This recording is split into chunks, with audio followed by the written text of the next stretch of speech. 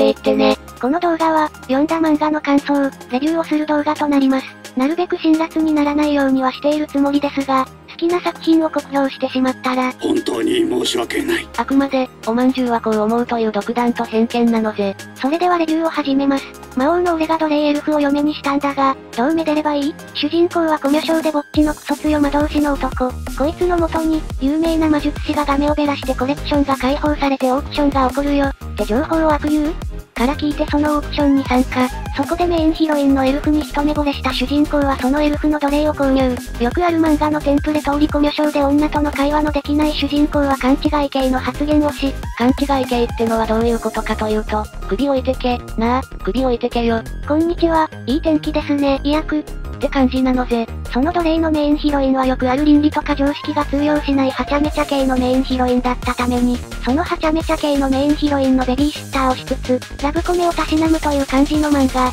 バトルあり、ラブコメありって感じの2000年っぽい。フルメタルパニックとかそんな感じの時代とテイストの作品なのぜ。なのでそういった時代のテイストの作品が好きならハマるんじゃないかな？って感じです。悪友の俺がポンコツ騎士を見てられないんだが、どうせは親ちゃい窓目外伝。作画担当が違うので分かりにくいが、魔王の俺が奴隷エルフを嫁にしたんだが、どうめでればいい？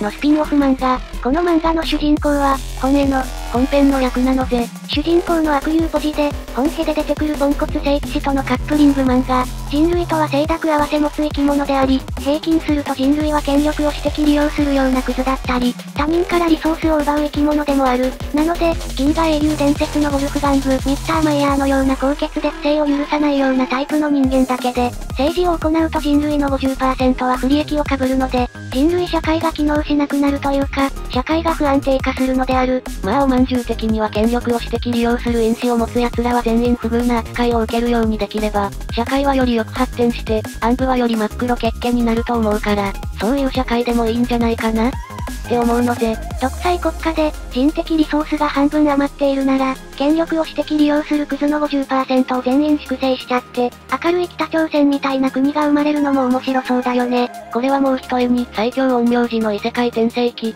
で主人公が悟っていたように、強い力は恐れられて迫害の対象になるが、力をある程度見せないと、弱者は食い物にされる、って部分で、弱者を食い物にすることで、平均して人類の50%は生存しているからなのぜ。この漫画はポンコツだが不正絶対許さんマンのメインヒロインの聖女みたいな聖騎士のメインヒロインと、そのポンコツが撒き散らしたクソを掃除する役のベビーシッターの魔術師のメインヒーローとのコメディ漫画であり、魔王の俺が奴隷エルフを、のコミュ障と過激派のラブコメと似た感じとノリの漫画。どちらも本質的には似た感じのフルメタルパニックのような2000年代のノリのラノベのような漫画なので、そういった感じのラノベが好きだった世代にはハマるんじゃないかなという感じ。ルートエンド、サスペンス漫画。サスペンス漫画はどの漫画も初めからオチが決まってから漫画連載が始まることが多いので、サスペンスものに外れはない。なのでこの漫画もシナリオ自体はとても面白い。含みがあるのぜ。これはまさしくここからが漫画の本質というか問題の部分であり、漫画に限らず映画でもそうなのだが、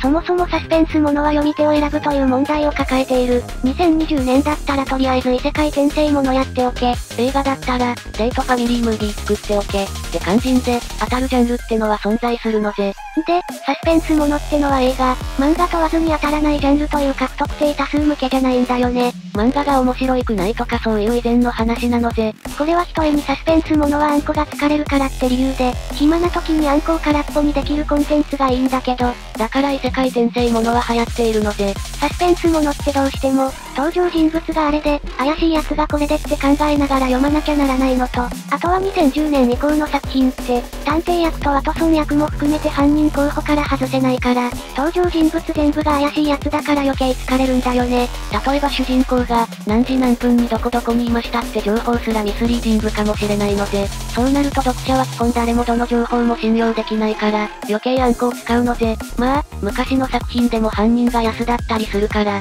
今のトレンドがそうってわけじゃないので、2010年以降はというかサスペンスもののトリックが出尽くすだけで尽くしちゃったから、もう主人公とかを犯人にしないと、びっくりを読者に与えられなくなってきてるからなのぜ。話は戻りますが、主人公は孤独死とかした民家で死体と部屋を清掃する仕事をしている。送り人、とかいう仕事をしている過去になんやかんやあった男。こいつが住んでいる街でシリアルキラーのエンドなる犯人が犯行を実行しており、そいつは自分で殺した死体でデコレーションして自分自身を誇示する傾向のあるシリアルキラー。このシリアルキラーが誰なのか？という部分から主人公は巻き込まれる形で、刑事役の女性警官とともに、どんなことから犯人探しを始める？という感じの本格推理漫画。普通に人間ドラマもよくできているし、実写映画化とかドラマ化しやすい作品なのぜ。まあ、実写化したらお察しなのぜ。8歳から始める魔法学。作画がスパイファミリーっぽい感じだし、作画力が高くて読みやすい漫画。モンスターや背景の作画とかマジでヤバいのぜ。多分スパイファミリーの足やってた人なんじゃないかなって感じなのぜ。シナリオは、市民革命が終わった後の異世界ファンタジーの世界。そこで、二大貴族の派閥はイデオロギーの違いからことあるごとに対立してて、この派閥のご子息の、戦隊ヒーローのレッドみたいなのがライバルキャラで、主人公は悪の怪人のフクサーみたいなぽっちゃりブラック。このぽっちゃりブラックはなんやかんやあって前世の記憶を思い出した後は、まだ自分は8歳で十分スタートダッシュできるってことから前世で諦めていたなりたい自分になろう、ってことからその世界にあった魔法をこっそり独学で学んで、びっくりさせたる、という感じが主人公の目的だが、漫画の内容はイデオロギーの対立によって発生した民主主義がまだ定着しておらず、機械性民主主義を採用したばかりなので、知識層はどうしても貴族に偏るので貴族がキャスティングボードを握るし、平民と貴族もまだまだ確執があるっていう成熟していない過渡期な世界。この過渡期なやっとこさ始まった議会制民主主義の社会で、派閥闘争に巻き込まれちゃって、主人公の親は派閥へのドンってところから嫌でも派閥闘争に巻き込まれちゃって学園で政治をするという感じの漫画。シナリオはクロート向けでとても面白いのだがとにかく地味。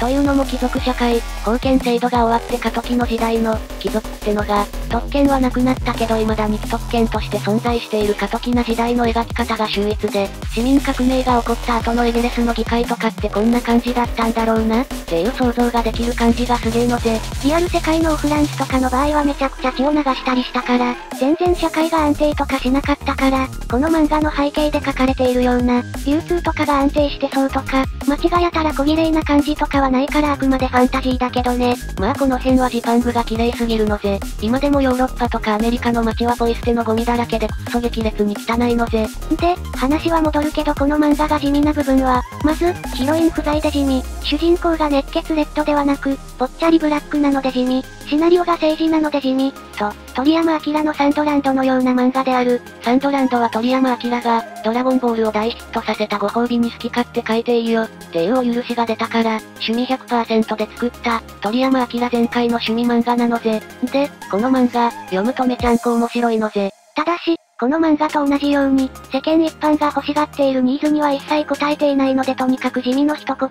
で、2024年は、クリックされない漫画は存在しないものとほぼ同じ。なので、シナリオよりもジャケット、タイトルが大事だという、作家からしたら本末転倒な作品の方が価値があるのである。これはコンテンツ産業がレッドオーシャン化しちゃって、昔はゲーム産業は、ライバルゲーム会社とだけ戦っていればよかったんだけど、2024年は何でもありの世界になってしまったから、ライバルは SNS に YouTube に映画にゲームに漫画と全てが人間から1秒を奪うって戦いを繰り広げているのぜ。だからこの漫画はとてもシナリオがよくできているんだけど、全く2024年向けじゃないんだよね。地味ってのは、興味を惹かれない、興味の惹かれない、クリックされにくい作品というのは、2020年においては存在しないものとほぼ同義であるからなのぜ。顔が見分けられない伯爵令嬢ですが、悪人公爵様に溺愛されています。内容は、幼い頃に事故って顔の認識ができなくなった主人公の女がメインヒロイン。こいつは初期スポーン地点がクズ貴族の家だったためにその後テンプレ通りにシンデレラされて育つ。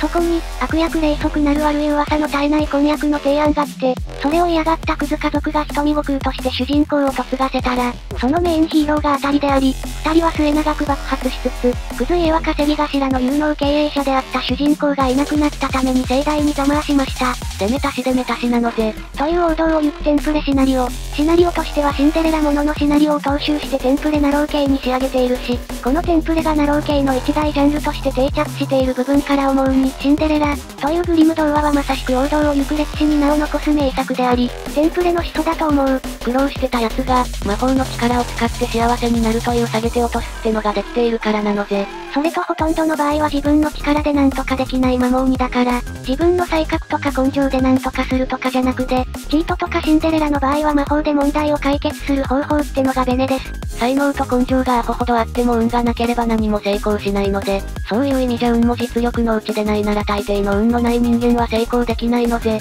で、この漫画の得意な部分はメインヒーローのイケメソは顔に火傷跡があるので、周りから忌避の対象になっているという設定であり、主人公は元来人が良いひたむちゃんだし、顔が認識できないので、メインヒーローのイケメソの火傷跡を忌避しないのでベストカップリングという感じの設定。